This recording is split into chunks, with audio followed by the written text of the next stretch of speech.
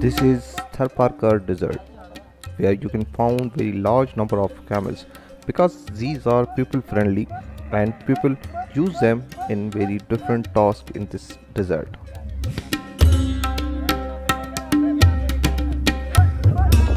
People like camels because it has adapted itself according to the conditions of this desert.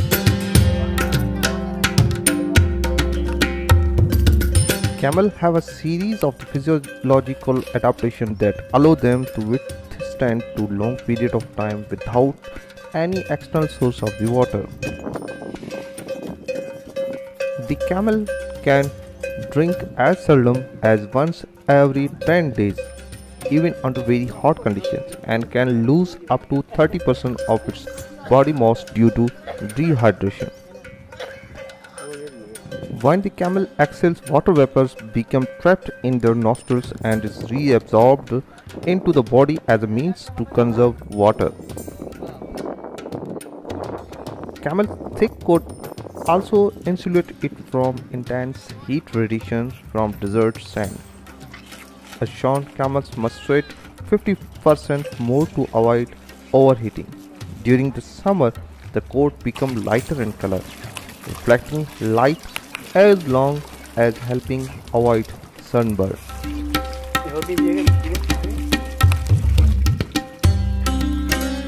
Most of the people think that camel stores water in its hump, but it is wrong. It stores water in its bloodstream.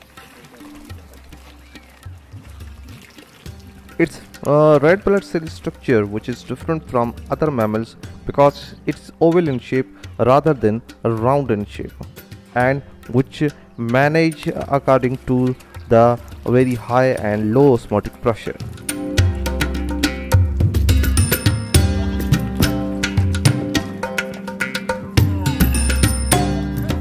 At once camel can drink up to 100 liters of water and which will help them in the rest of the days and it can travel for many days in the desert.